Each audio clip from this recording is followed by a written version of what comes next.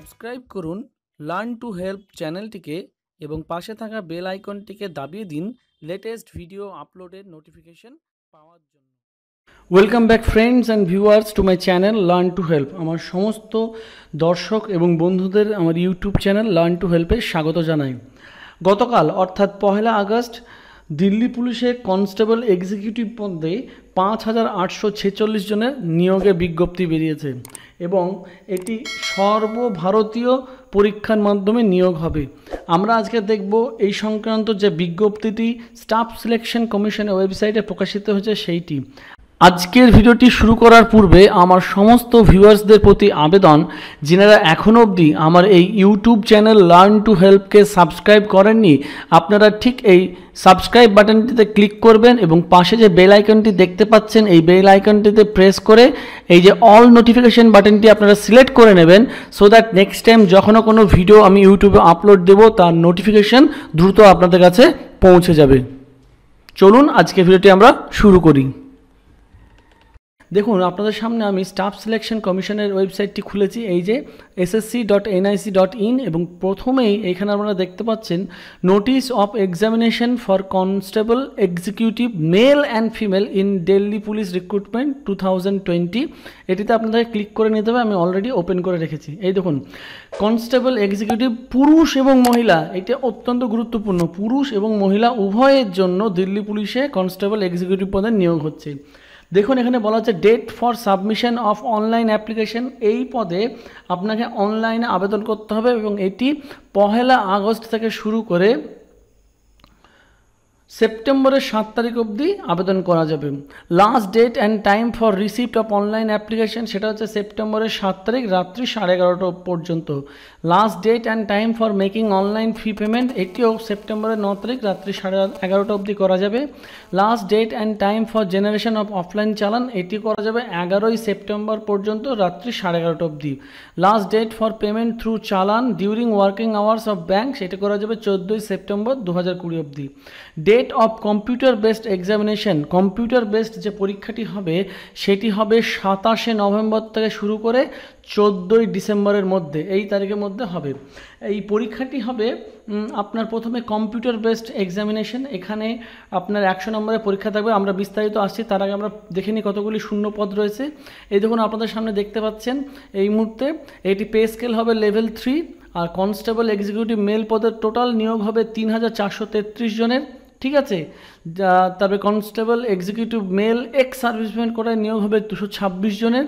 Constable executive male ex serviceman commando কোটায় নিয়োগ হবে দুশো তেতাল্লিশ জনের আর কনস্টেবল এক্সিকিউটিভ ফিমেল কোটায় টোটাল নিয়োগ হবে উনিশশো চুয়াল্লিশ জনের। সর্বমোট কনস্টেবল এক্সিকিউটিভ মেল ফিমেল পুরুষ মহিলা মিলিয়ে নিয়োগ হবে পাঁচ হাজার আটশো ছেচল্লিশ জনের। খুবই খুবই বেশি সংখ্যায় নিয়োগ হতে চলেছে।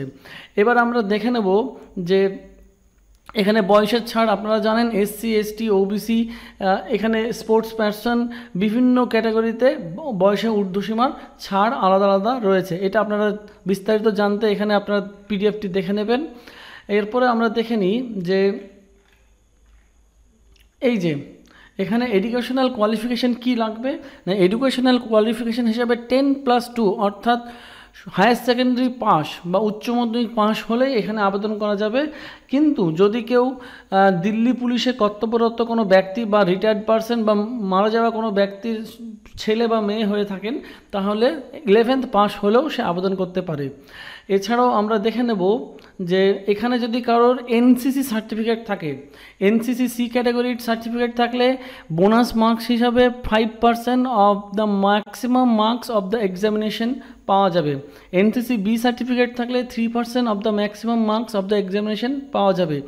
এনসিসি এ সার্টিফিকেট থাকলে two percent of the maximum marks of the examination পাওয়া যাবে। আপনাদেরকে সকলকে আবেদন করতে হবে এই ওয়েবসাইটে অনলাইনে ঠিক আছে? আবেদন করার সময় কী কী তথ্য লাগবে সেগুলো আমরা জানিয়ে দেবো। এখানে আবেদন ফি বাবদ একশো টাকা দিতে হবে। কিন্তু বলে রাখি, মহিলা শিডিউল কাস্ট শিডিউল ট্রাইব এবং এক্স সার্ভিসম্যান যে ব্যক্তিরা আবেদন করবেন, তিনাদের কোনো আবেদন ফি লাগবে না।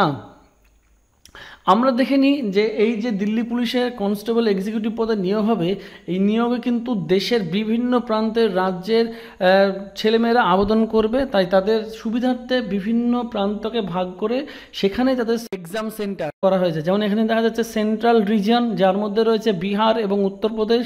এখানে এক্সাম সেন্টার আছে আর এখানে রিজিওনাল ওয়েবসাইট রিজিওনাল যে অফিস রয়েছে সেটার ঠিকানা দেওয়া রয়েছে।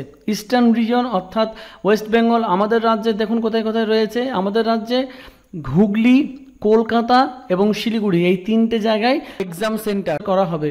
আর আমাদের দেখুন যে রিজিওনাল অফিস রয়েছে স্টাফ সিলেকশন কমিশনের ইস্টার্ন রিজনের সেটি ঠিকানা এখানে দেওয়া রয়েছে। এরকমভাবে বিভিন্ন রিজন করা হয়েছে গোটা ভারতবর্ষকে এবং বিভিন্ন রিজনে কোথায় কোথায় এক্সাম সেন্টার হবে এবং তাদের কোড নাম্বারগুলিও এখানে দেওয়া রয়েছে।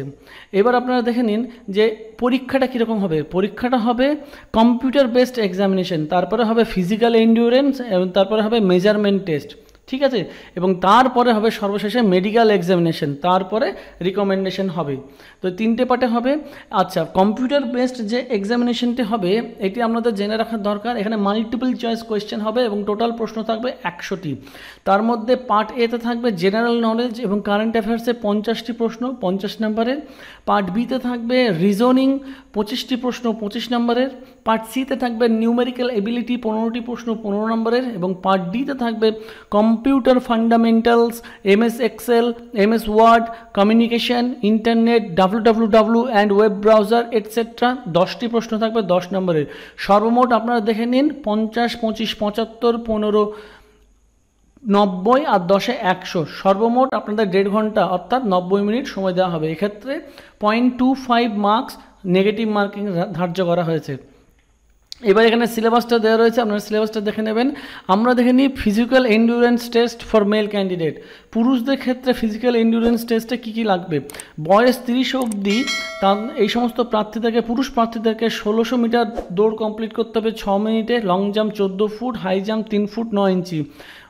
তিরিশ থেকে চল্লিশ বছর অবধি বয়স্ক আবেদনকারীকে সাত মিনিটের মধ্যে ষোলোশো মিটার রান কমপ্লিট করতে হবে, লং জাম্প দিতে হবে তেরো ফুট, হাই জাম্প দিতে হবে তিন ফুট ছয় ইঞ্চি এবং এইভাবে চল্লিশ বছরে একটি দেওয়া রয়েছে আট মিনিট, বারো ফুট, তিন ফুট, তিন ইঞ্চি। ঠিক আছে? এবার আমরা দেখে নিই হাইটটা ছেলেদের ক্ষেত্রে লাগবে একশো সেন্টিমিটার, একশো সত্তর সেন্টিমিটার এবং এক্ষেত্রে পাঁচ সেন্টিমিটার রিল্যাক্স দেওয়া হবে বিভিন্ন হিল এরিয়া এখানে বিভিন্ন জাতি রয়েছে তাদের জন্য। পাঁচ সেন্টিমিটার দেওয়া হতে পারে এসটি ক্যান্ডিডেটের জন্য। পাঁচ সেন্টিমিটার দেওয়া হবে case of son of serving retired or deceased Delhi পুলিশের কোনো ব্যক্তির ছেলে, মেয়ে রিটায়ার্ড বা সার্ভিং বা মারা গেওয়া পুলিশ কর্তব্যরত ব্যক্তির ছেলে, মেয়েরা পাঁচ সেন্টিমিটার বয়সে ছাড় পাবেন। এছাড়াও দেখুন, রয়েছে মেয়েদের ক্ষেত্রে এখানে তিরিশ বছর অবধি আট মিনিটে ষোলোশো মিটার রান কমপ্লিট করতে হবে, লং জাম্প দিতে হবে দশ ফিট, হাই জাম্প তিন ফিট, তিরিশ থেকে চল্লিশ বছরের ক্ষেত্রে ন মিনিটে ষোলোশো মিটার রান কমপ্লিট করতে হবে, লং জাম্প দিতে হবে ন ফিট, হাই জাম্প দু ফিট ন ইঞ্চি এরকমভাবে দেওয়া রয়েছে। আর মেয়েদের ক্ষেত্রে দেখুন ফিজিক্যাল মেজারমেন্ট টেস্টে হাইট হতে হবে মিনিমাম একশো সাতান্ন সেন্টিমিটার আর রিল্যাক্স দেওয়া হবে দু সেন্টিমিটার বিভিন্ন এলাকার জনজাতির মানুষজনের জন্য। দু সেন্টিমিটার রিল্যাক্স দেওয়া হবে এসসি বা এসটি ক্যান্ডিডেটের জন্য, আর দু, পাঁচ সেন্টিমিটার রিল্যাক্স দেওয়া হবে কর্তব্যরত বা রিটায়ার্ড বা মারা যাওয়া কোনো দিল্লি পুলিশের কর্মী ছেলে মেয়ে হওয়ার জন্য। দেখুন এখানে procedure for filling online application কীভাবে হবে? না এই অনলাইন অ্যাপ্লিকেশনটি দুটো ভাগে বিভক্ত। একটা হচ্ছে ওয়ান টাইম রেজিস্ট্রেশন একবারের জন্য রেজিস্ট্রেশন করতে হবে। দ্বিতীয়টি হচ্ছে filling of online application for the examination R online application পরীক্ষার জন্য ফিল করতে হবে। তো দুটো পার্ট একটা হচ্ছে ওয়ান টাইম রেজিস্ট্রেশন আর একটা হচ্ছে filling of online application for the examination আপনাদের উদ্দেশ্যে আমি জানিয়ে রাখি, সে আপনারা আমাদের চ্যানেলের ওপর নজর রাখুন। আমরা এই দুটো পার্ট ওয়ান টাইম রেজিস্ট্রেশন এবং filling of online application for the examination দুটো পার্টি আলাদা আলাদা ভিডিও করে আপনাদের সামনে নিয়ে আসব। অবশ্যই আপনারা সেগুলি দেখবেন। তো এখানে কী হবে? ওয়ান টাইম রেজিস্ট্রেশন করতে হবে সেই সমস্ত তথ্যগুলি এখানে দেওয়া রয়েছে। এই ওয়ান টাইম রেজিস্ট্রেশন হয়ে গেলে তারপরে আমাদেরকে এই দেখুন ওয়ান টাইম রেজিস্ট্রেশনে কী কী থাকবে? সব কিছু এখানে বলে দেওয়া রয়েছে, কোন কোন টপিকগুলো থাকবে। তারপরে এগুলি হয়ে গেলে তখন আমাদের ফিলিং আপ অ্যাপ্লিকেশন ফর্মটি শুরু হবে এবং এরকমভাবে এটা করতে হবে পার্ট টুটি ঠিক আছে? তো এক্ষেত্রে আপনাদেরকে সকলকে জানিয়ে রাখি, আপনারা কোনোভাবে চিন্তিত হবেন না, আপনারা আমাদের চ্যানেলের ওপর নজর রাখুন, আমরা সমস্ত কিছু আপনাদেরকে দেখিয়ে দেব। আর আপনাদেরকে এও জানিয়ে রাখি যে এই পদে আপনারা অবশ্যই সকলে আবেদন করুন, কারণ আপনাকে পরীক্ষা দেওয়ার জন্য বাইরে কোথাও যেতে হবে না, আমাদের রাজ্যের মধ্যেই তিনটি সেন্টারে যে কোনো একটিতে আপনার পরীক্ষা হবে। এবং কীভাবে আপনারা গোটা ফর্মটি ফিল আপ করবেন, সেই সংক্রান্ত আমরা পরের ভিডিও আপনাদের দেখাবো। এখনও অবধি যিনারা আমাদের এই চ্যানেলকে সাবস্ক্রাইব করেননি, অবশ্যই আমাদের চ্যানেলটিকে সাবস্ক্রাইব করে রাখুন এবং পাশে থাকা বেল আইকনটিকে প্রেস করে অল নোটিফিকেশনটি অন করে রাখুন। আপনারা শেষ অবধি ভিডিওটি দেখলেন, তার জন্য আপনাদেরকে অসংখ্য ধন্যবাদ। ভিডিওটি ভালো লেগে থাকলে একটি লাইক করুন, ভিডিওটিকে কমেন্ট করুন। আর কোনো রকম প্রশ্ন থাকলে ডেসক্রিপশন বক্সে আমার সোশ্যাল মিডিয়ার লিঙ্কগুলি দেওয়া রয়েছে। যে কোনো একটিতে আপনি আমাদের সঙ্গে যোগাযোগ করতে পারেন। ভালো থাকবেন, সুস্থ থাকবেন। নমস্কার।